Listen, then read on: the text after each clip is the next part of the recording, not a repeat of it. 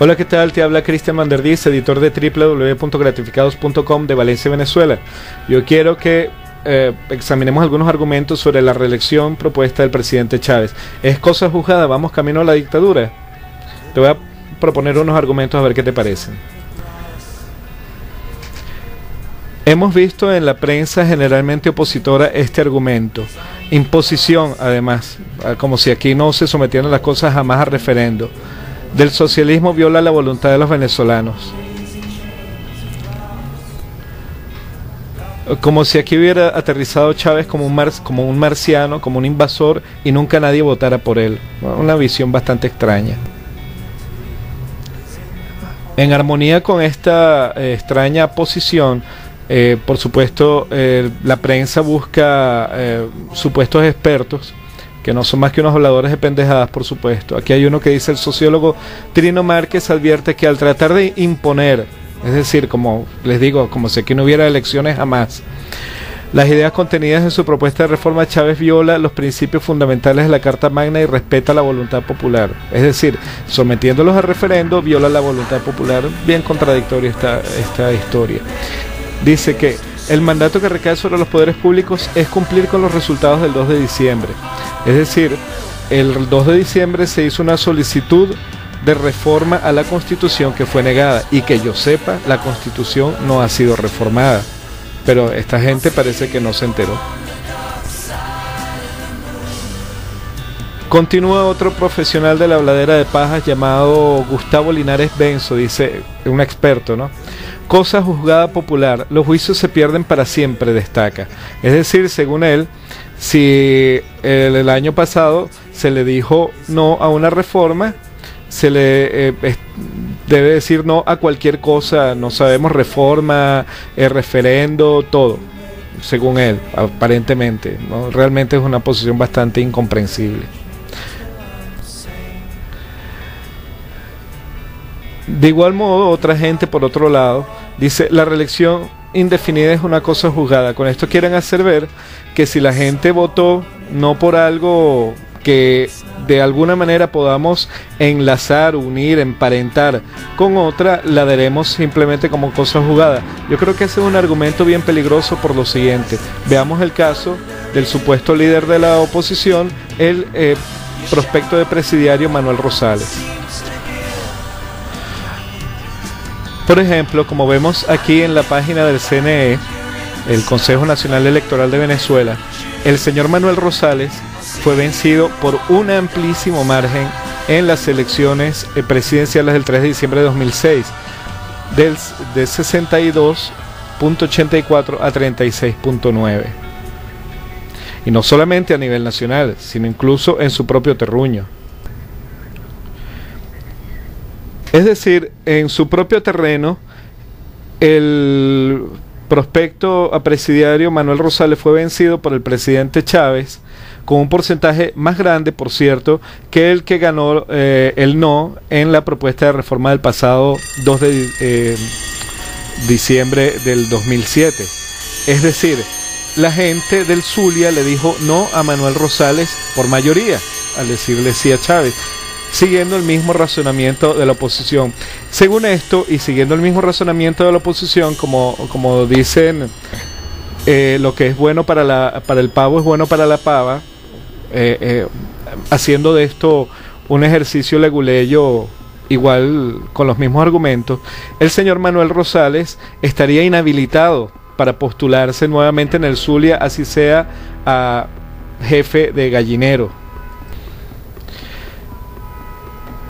Sin embargo, el señor Rosales, como sabemos todos en Venezuela y algunos habrán sabido en otro lado, se postuló de haber sido gobernador alcalde de Maracaibo y ganó y está adjudicado su cargo de alcalde. Es decir, que si este principio fuera cierto, habría que negarle esta posibilidad porque el pueblo de Zulia le dijo que no hace en el 2006. Por supuesto se puede decir, oye, no es lo mismo optar por alcaldía que por la presidencia. Bueno, yo digo exactamente lo mismo. No es lo mismo una solicitud de reforma que contenía 69 artículos que una enmienda de un artículo.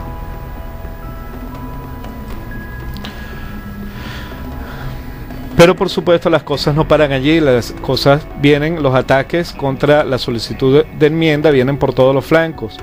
Y viene el señor Vargas Llosa a em, atacar con tratando de darle una pátina de, intelectualidad o de cultura a la oposición, lo que hace es mal marketing porque la oposición no se lee ni un libro, viene a eh, atacar la reelección, la propuesta para reelegir para permitir la reelección presidencial en Venezuela. Ahora, todos estos ataques siempre cojean de la misma pata, que son incongruentes, que son, eh, si uno se va a ver a la raíz ética, no tienen ninguna. Veamos quién es el señor Mario Vargas Llosa, en la misma Wikipedia. Vemos, bueno, por supuesto estamos hablando de un escritor eh, muy relevante en Latinoamérica, de Latinoamérica, cuyos libros yo he disfrutado personalmente y, tengo la mejor opinión de algunos de ellos, como por ejemplo La Guerra del Fin del Mundo. Eh, y aquí dice, bueno, habla de toda esa trayectoria, patatín, patatán, y luego dice, eh, el gobierno español le concedió la, la nacionalidad española en el 93 y que tiene vínculos con importantes dirigentes de la derecha de varios países como el expresidente español José María Aznar. Vamos a ver qué quiere decir esto.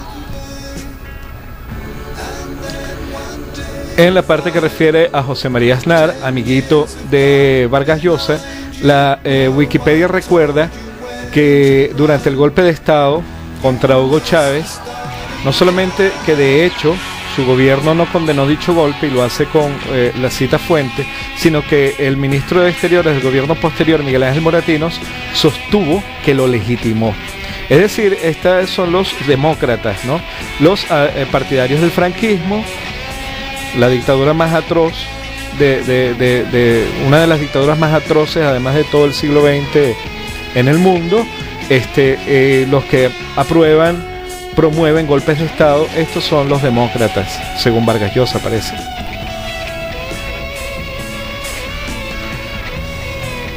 A mí en lo personal me trae bastante sin cuidado el gobierno que les dé la gana darse a los españoles, eso es asunto suyo. Pero un señor que ha elegido la nacionalidad española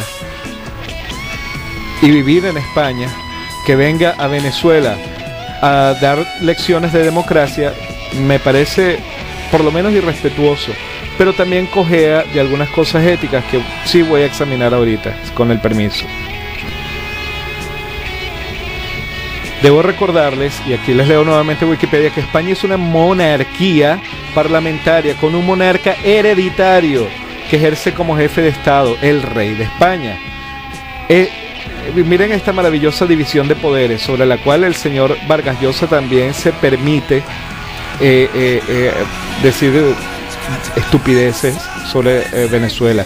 Es el monarca quien propone al presidente del gobierno tras las elecciones generales y quien lo mantiene en el cargo mientras conserve la confianza del Congreso de los Diputados. Genial, ¿no? Chévere, el pueblo que manda, seguro. Volvamos a ver cómo es el asunto del presidente del gobierno de España que dice que sus funciones se establecen en los artículos 97 al 116 de la Constitución Española del 78, promovida por cierto por el Reyesito. Puedes acceder en internet a ver la Constitución Española de 1978, aquí tengo la de que sale en Wikipedia, y ves en el artículo 99 cómo hay la intervención de una eh, autoridad hereditaria llamada El Rey en el proceso de elección del presidente en España.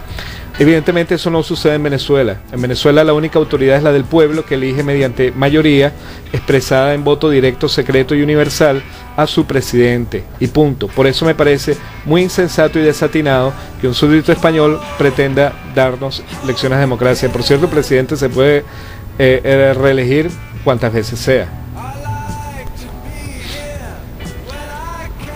Mientras tanto, en nuestra constitución está especificado de manera muy explícita lo que constituye una enmienda y cuáles son los requisitos para hacerla y lo que es una eh, reforma constitucional que se, fue en efecto lo que se solicitó el año pasado. Y vemos que son dos cosas bastante diferentes. Esto para quien lo quiera leer, por supuesto. Bien, en nuestra constitución eh, bolivariana del 99 se define que gana la presidencia, accede a la presidencia quien saque mayoría de votos en votación directa, secreta y universal, sin intervención de ninguna autoridad hereditaria u otra cosa que no sea las, los la mayoría de los votos de la gente. Y el artículo que se pretende modificar es el 230, que define el periodo presidencial de seis años, que eso no se va a modificar, pero cuando le indica que se puede reelegir para por una sola vez eso se elimine para que pueda ser elegido por el número de veces que la gente le dé la perra gana de votar por él, si es que por ahí le da. Y eso es todo. Bueno, esto para su análisis te habló desde Valencia, Venezuela, Cristian Vandervis, editor de www.gratificados.com. Saca tú mismo tus propias conclusiones.